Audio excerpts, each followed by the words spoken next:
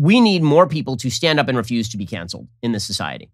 And increasingly, we're starting to see that, right? So Dave Chappelle refused to be canceled by the seven trans advocates over at Netflix.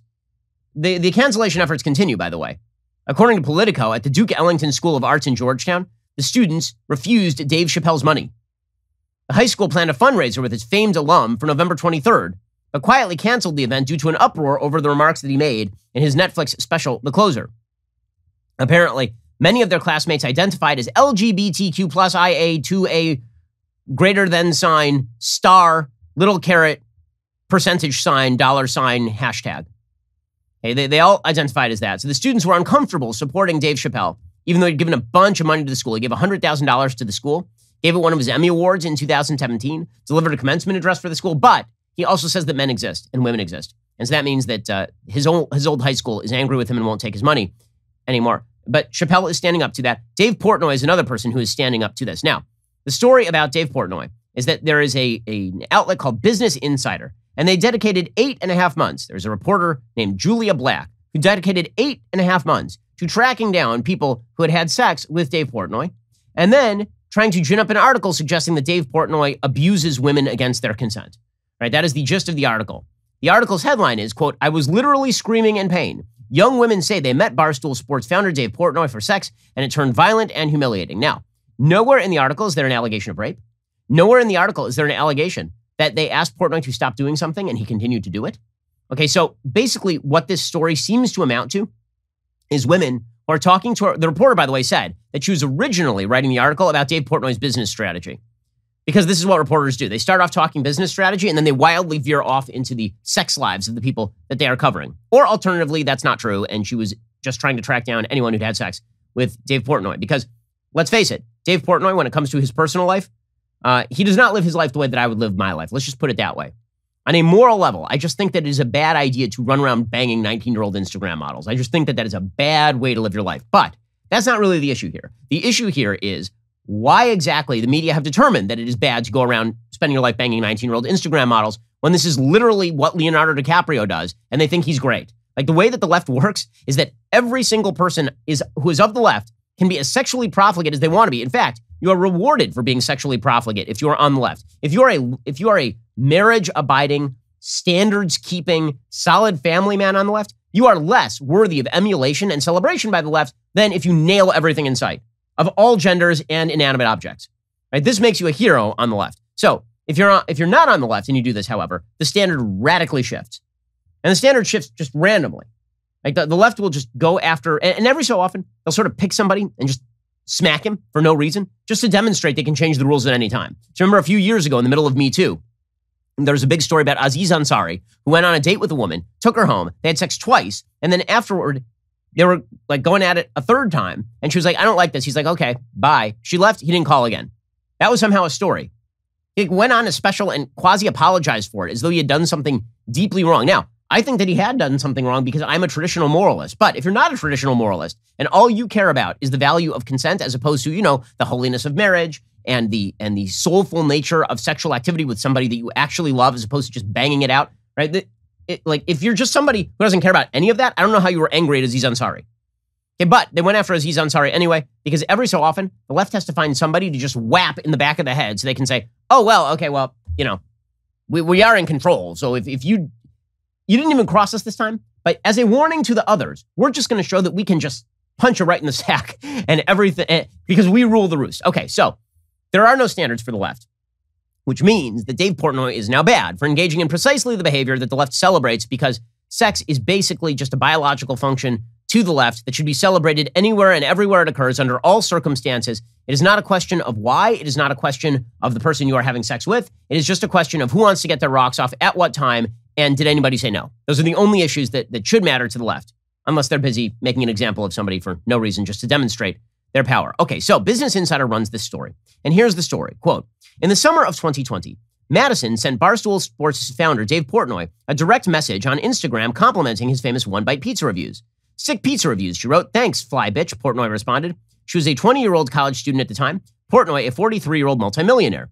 The conversation soon moved to Snapchat and text, where it quickly turned to the topic of sex. Well, there's a shock. He sent her graphic videos of other women he'd slept with, according to Madison, and in messages reviewed by Insider, he pressed her to tell him about her sexual fantasies. And she wrote, I mean, actually, this one's kind of common, like a rape fantasy where I don't have any control of what's going on. You and I are going to get along so well, he responded. But I will say, in order to do that one, I have to be pretty comfortable with you, Madison said. Of course, Portnoy said. And he bought her a first class plane ticket to visit him at his $2.2 million Nantucket home. The trip was a traumatic experience, Madison told Insider. She arrived at, four, at Portnoy's four bedroom home about 3 p.m. Okay, so let me just start here. Stop here. Okay. Here's the standard you can consent, consent, consent. When you say no, the no is good. However, if we are trying to establish evidence that Dave Portnoy did something bad to you that you did not want to do, I can tell you how you obscure our ability to believe your story. You have sexual, you have sexual text messages claiming that you want to be raped or that you have a rape fantasy. You then accept a ticket from a man 23 years your senior who's explicitly sent you messages of other women he's had sex with and talked with you about how much you guys want to have sex and how you'll get along well because you have rape fantasies. You show up at his house and then you proceed to have sex with him. Like these seem to be indicators that perhaps you are not like that, that, that, this does not fall clear. Let's just put it this way. It does not fall clearly into the evidenced rape category. By the way, she doesn't even allege rape. Just going to say that right off the bat. She arrived at Portnoy's four bedroom house about 3 p.m., tired enough from her travels. She didn't mind when Portnoy told her they would order in pizza instead of going out. Still, she was surprised to find him nothing like his charismatic online persona. He was very rude. He wasn't funny at all. He just reminded me of a boring, grumpy old man, Madison said. After dinner, they started kissing. Um, I have a question. Uh, Madison said, so first of all, when you meet like somebody who's like boring and old and grumpy, do you normally just start making out with them? Is that like a thing that you do typically? Uh, call me naive. I don't know. We'll get to more on this in just one moment first. It's never too early to start gift shopping for the holidays, especially because today you can save big on a gift that they will use every day Raycon wireless earbuds. So, as y'all know, I use my Raycons all the time. These things, they're really easy to use. I mean, check this out. Here we go. Open that up. Boom. In go the earbuds. And now the magic begins. With seamless Bluetooth pairing, a comfortable noise isolating fit, you can start listening right away and keep listening for hours. The audio quality is amazing, comparable to what you get from other premium brands, except Raycon starts at half the price. Those new everyday earbuds, they come with three new sound profiles to make sure everything you're listening to sounds how it should with just the right amount of bass. You got pure mode for podcast listening, balanced mode for rock and heavy metal, and you got bass mode for hip hop and EDM, reggae, you know, for the kids. Raycon offers 8 hours of playtime and a 32 hour battery life. There's also a built in mic. You can take calls on your earbuds at the press of a button. So, this holiday season, get them something they can use for calls or music for work or play at home or on the go or pick up a pair for yourself. Trust me, you're going to use them every day. Go to buyraycon.com slash Ben today. Unlock exclusive deals up to 20% off your Raycon order. But hurry, this offer is available for limited time only. You don't want to miss it. That's buyraycon.com slash Ben. Unlock up to 20% off your Raycons buyraycon.com slash Ben.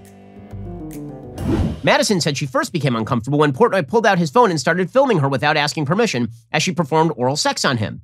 I never said anything. I was scared. He was just so mean, she said. He says, as we'll see, that he never filmed her without her permission. Okay, and um, and then she texted a friend two days after having sex with Portnoy, saying it was rough. I felt like I was being raped. Portnoy just denies all of this. He says this is not true. And again, I'm not sure how you're supposed to develop a chain of evidence based on her allegations two days later after having done all of these things. Like, just from an evidentiary level, I don't know why the he said, she said is supposed to come down in her favor, particularly when he has now shown texts about these people basically saying they want to have sex with him. Right. So, for example, Portnoy was accused by two women, Allison 19 and 20 year old Madison, both of whom were given aliases, of aggressive and unpleasant sexual behavior, filming them without permission and leaving them feeling humiliated and traumatized in the explosive November 4th article. Portnoy gave a live stream yesterday, and then he showed a message from Allison in which she texted him, quote, really want to see you, would do anything. She added, can we bang? Okay. Then Portnoy also attacked the journalist. He said that the journalist is uh, is you know out to get him, which is obviously true. Portnoy said this is total BS, cancel culture 101. He showed a series of screenshots from both of them. he pointed out how in the article, Allison's sister Olivia, 22, says she wanted to secure a sought after invite to Portnoy's $2 million Nantucket mansion, this is according to the Daily Mail. Olivia had been messaging him to no avail. She asked Allison, three years younger, to try. Literally in the article, they are trying, they say they're trying to bait me, Portnoy said. This isn't journalism, it's editorial, saying we don't like Dave. Allison messaged him saying, really want to see you, would do anything, adding, can we bang? After they had sex, Allison messaged Portnoy again, saying she wanted to see him. Portnoy noted that in his reply, he said, if you don't want to do anything, we won't. Okay, like after he had left Nantucket, Allison messaged him a few days later, urging him to return. I'm in shock you're still DMing me, she said. Like, what's up, Dave Portnoy? And then she messaged him again, sending him her phone number. It, like, I'm sorry, it's turning to the second accuser. Portnoy showed another series of comments left below a TikTok video she made. She replied to a comment saying, quote, the article never said the sex was not consensual. Portnoy said that he and Madison, after they had sex, realized we disagreed on basically everything, like oil and water, uh, like oil and vinegar. But he insisted their intimate relations were entirely consensual. If there was a hidden camera in that room, that would be absolutely nothing there. There, there would be absolutely nothing there, he said.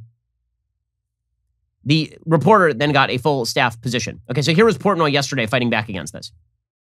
They accuse me of rape, period. They say they didn't. There's no actual allegations, but if you read it, it's like girls running away, Dave won't stop. That's rape. I've said this from the top. I have never done anything inappropriate with any girl in life, and I have every girl I've basically been with who is like, this is up, and if we need you to go to bat, like, we will.